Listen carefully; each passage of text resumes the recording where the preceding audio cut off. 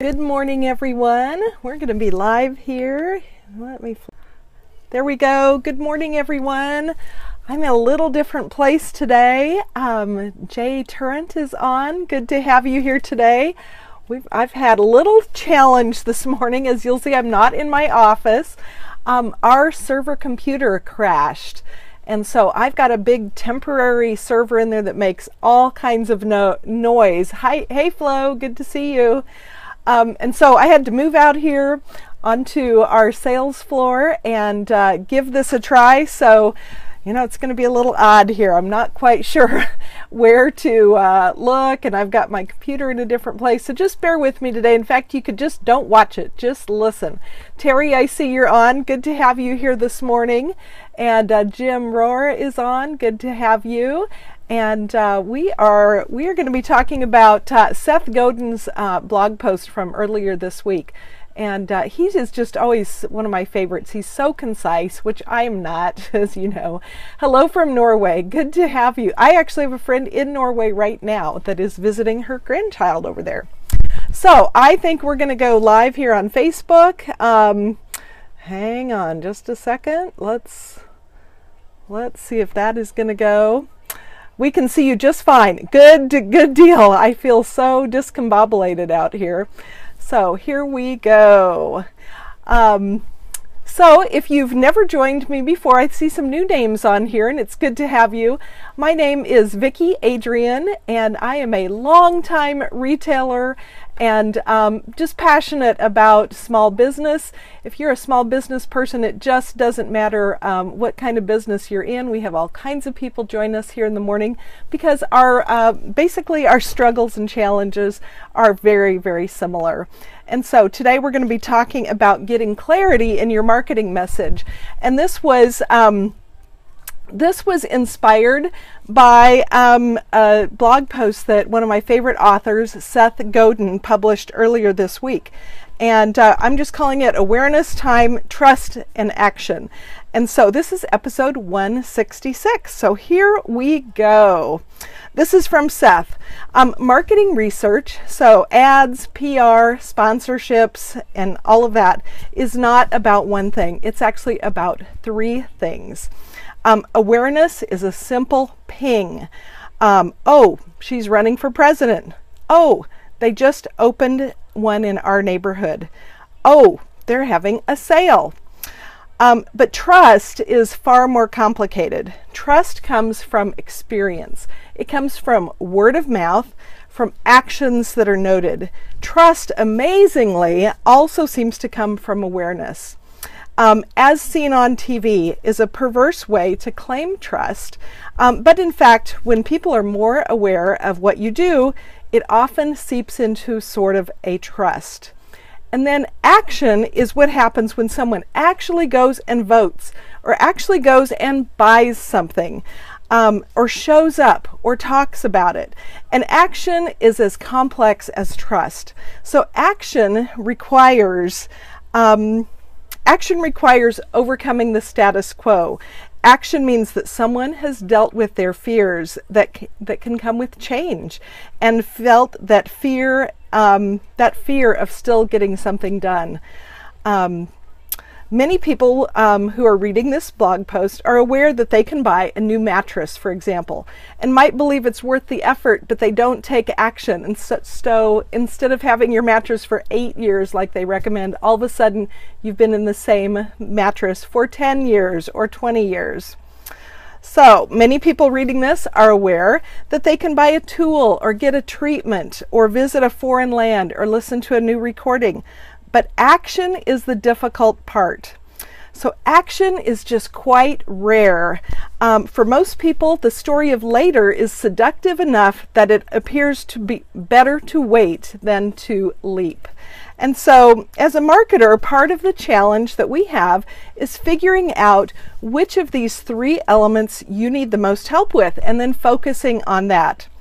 So, first of all, if you're not getting Seth Godin's um, daily emails, I would just implore you to sign up today. Just go to sethgodin.com, sign up. They are short and sweet and very concise, and I always get something rich from them.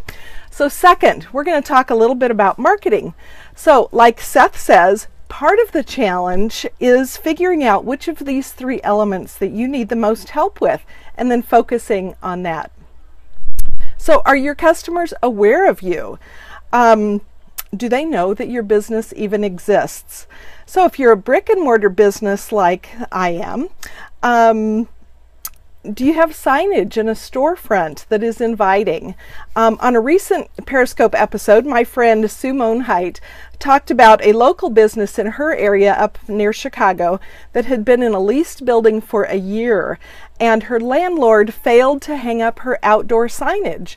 Um, the sign was made; it it it was ready to go, and he just would not get it done. In fact, it's still not done.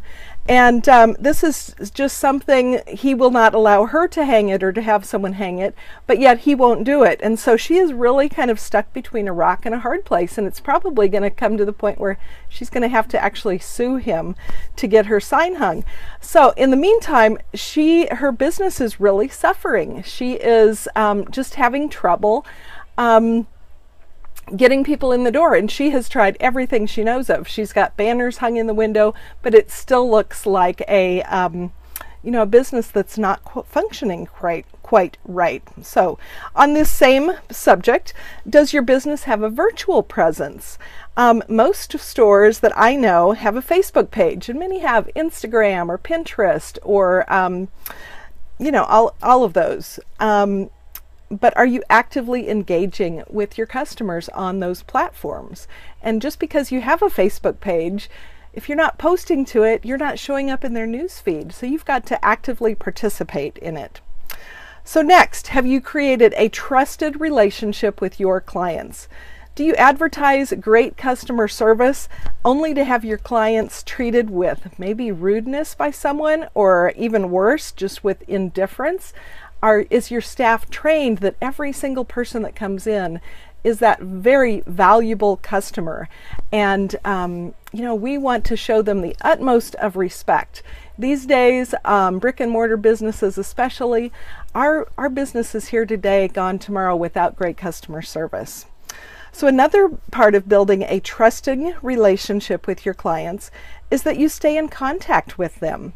Many of you are absolutely remarkable retailers who work hard to bring your customers great content in your weekly emails um, through thank you notes, through outstanding events, and um, just much more.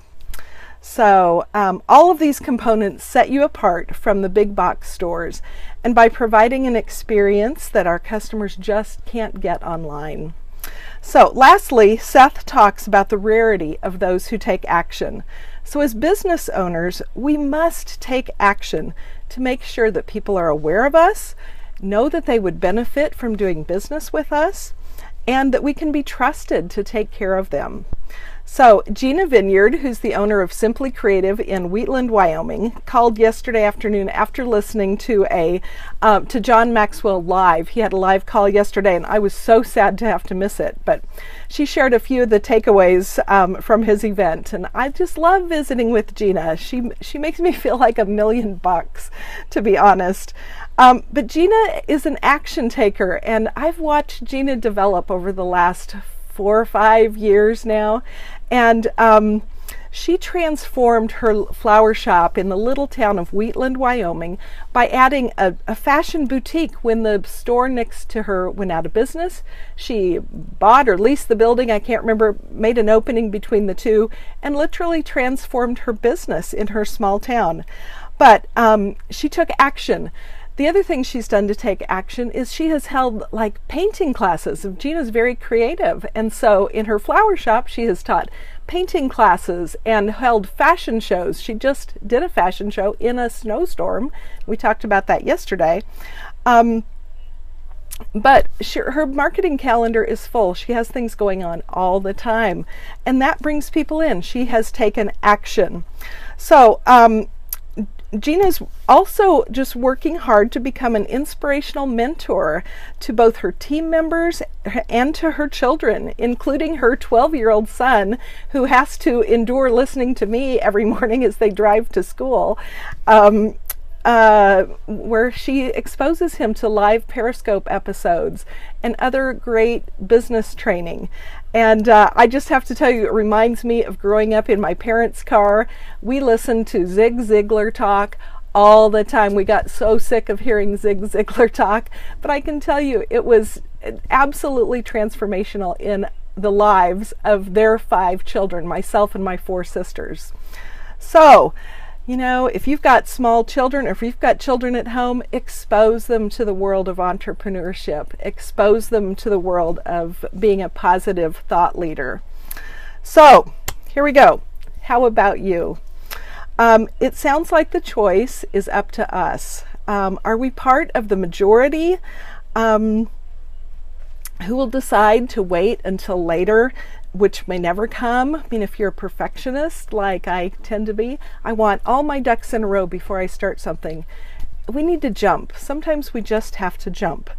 Um, or are you in the small small minority of people who will actually take action to move our business or, or our life forward? So I want to thank you so much for joining me today. It's always just such a pleasure and a privilege to talk to you in the mornings. And um, I hope that you will have a great day. I hope that you go out there and take action. If you haven't sent a weekly email out this week, just get it done. Even if it's a picture and a little description, get it out the door. Send your customers a note. Think of that as just a, sending them a note. Don't think of it as an epic email. Just send them a note. So if you're listening today and you're not already on the Remarkable Retailer um, Facebook page, please go over there and click like. And I've got a couple of viewers on Facebook Live. It's so good to have you. I'm still learning and experimenting with that. And if you're not on our email list, if you'd go over to remarkableretailer.com and um, just sign up for our email list, we will send you some free goodies to get you going today. And um, you know, I just want you to know I appreciate each and every one of you joining me. I look forward to seeing you again, uh, probably not tomorrow, but I'll see you on Monday morning. And uh, let's just go build America one little storefront at a time.